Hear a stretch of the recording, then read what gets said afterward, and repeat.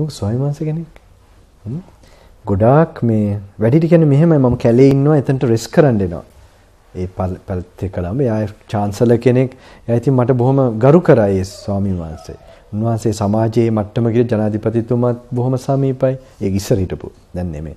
රාජපක්ෂ මහත්තයත් එක්ක මම කවුද කියන්න කැමති නෑ. මොකද අදටත් මම ගරු කරන්න හොඳ නෑනේ. හැබැයි මම කරුණ කියන්න කැමතියි. ඉතින් ඒ ස්වාමීන් වහන්සේට පිළිකාවක් හැදුණා.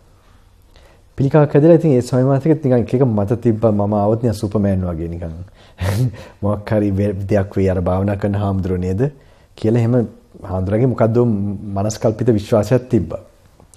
කොහොම හරි මම ඉතින් වඩිනවා වැඩලා ඉතින් මම මෙහෙම කතා බහ වෙනවා චුට්ටක්. ඔය පිළිකාව දිගට තිබ්බා ජනාධිපතිතුමා මෙයාගේ ප්‍රෙසිඩෙන්ෂල් ප්‍රෙසිඩන්ට් ෆන්ඩ් එකෙන්ම එයාව මෙයා කරා සිංගප්පූරුවට නෙමෙයි. ඊට පස්සේ ඔහම ඇවිල්ලා සයිමන්සේ අන්තිම දවසෙත් මම අන්තිම මොහොතේ මට යවුණා ගිහිල්ලා සර්ජිකල්ස් වල ආසිරි ස්වාමීන් නැති වුණා.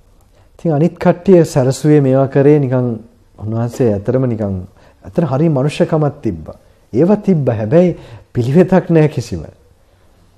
ලොකුවට අනිත් කට්ටිය වගේ ලොකු උපාදානයකුත් නැහැ. හැබැයි ඒ තියෙන දෙයට උපාදාන කරන් ඉඳලා තියෙනවා. නැත්තේ නෑ. ඒ පන්සල් වලට ඒ තියෙන ආදායම අරව මේවා ඒ වගේ. මේ නැති වුණාම පින්වතුනි මගේ ලයිෆ් එකේ මාගේ අපේ මේ හමුවීම මෙතනින් ඉවර වෙන්නේ නැහැ. මම නිතර මට කරගෙන යන පොරොන්දුවක් සමාට මට පුළුවන් විදියට මට හිතාගෙන ඉන්න විදියට මම සමාක අය ෆලෝ කරා. ඉතින් ඒ හාමුදුරන් මොකද උනේ කියලා මට උදව් වෙන්න පුළුවන්ද කියලා මම යම් දෙයක් ඒ වෙලාවේ හිතුවා. ඉතින් මේ ඒගොල්ලන්ගේ ශිෂ්‍යයෝයි අනිත් ඒවායි ඔක්කොම මේක හාමුදුරුවෝ කිසි ප්‍රශ්නයක් නෑ. හොඳ නිකන් මාර්ගඵලයක් ලැබුවා වගේ සරසලා මේවා කළා ඒ ආදාන ඒවා කරා. මම මේක හොයනකොට පින්වතුනි ස්වාමීන් වහන්සේ මැරිලා නැහැ. අපවත් වෙලා නැහැ මං කියන්නේ. අපවත් වෙලා නැහැ. අද අයට අද ගොඩක් ඔය අද යුගයේ ගොඩක් අයට මේක වෙනවා පින්වතුනි. ඒ කියන්නේ මේ අපවත් වෙන්නේ ඒ කියන්නේ ඒ අපවත් වීම අපවත් වෙන්නේ නැති අපවත් වීමක්. ඒ සිවුරු ස්වභාවයෙන්ම අර ඒ චයාර එකෙන්ම ඒ ගෝස්ට් ආත්මයක්. ඒ කාලේ එහෙම ඉඳලා එහෙම ඉඳලා කොහොමද සතිය දෙකක් වගේ ඒ විදිහට ඉඳලා සැරිසරලා සැරිසරලා ඊට පස්සේ බැල්ලියගේ වූම් එකකට පින්වතුනි මට මේක ඇහුණාම මම ඒ කාලේ ඔය හම්බ වෙනකොට ස්වාමීන් හිත හදලා මේවා කළ වචන කියලා වඩිනවා පස්සට.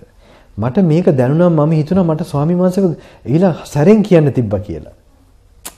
මට මේක පස්සේ තමයි ඒ දැනුම ආවේ.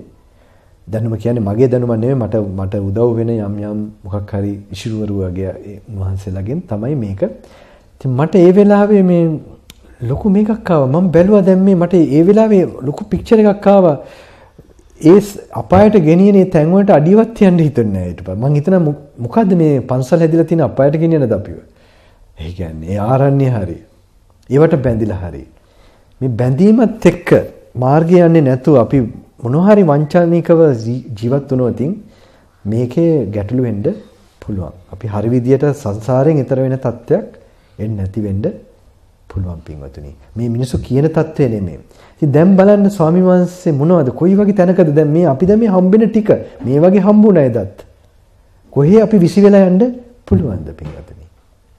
බුදුහාඳුරියා පෙන්වන කන කැස්පය වියසුදුරින් බලන හැටි මේ ඔක්කොම ඒවා හොඳ සිමිලිස් දීලා තියෙනවා. හැබැයි අපිට මේක ෆීල් වෙන්න ඕනේ, දැනෙන්න ඕනේ.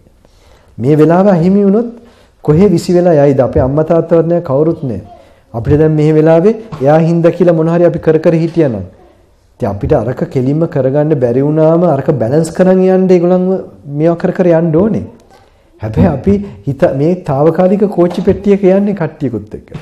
ඊළඟ ස්ටේෂන් එකේ හින්ද තියෙන තැනක.